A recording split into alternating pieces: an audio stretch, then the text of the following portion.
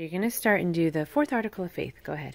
We believe that the, the first principles, ordinances of the gospel are first faith in the Lord Jesus Christ, second repentance, third death of the by immersion, and For the Don't put your mouth on the beaker. remission of sins, fourth laying on hands for the Stop putting your feet on me. for the gift.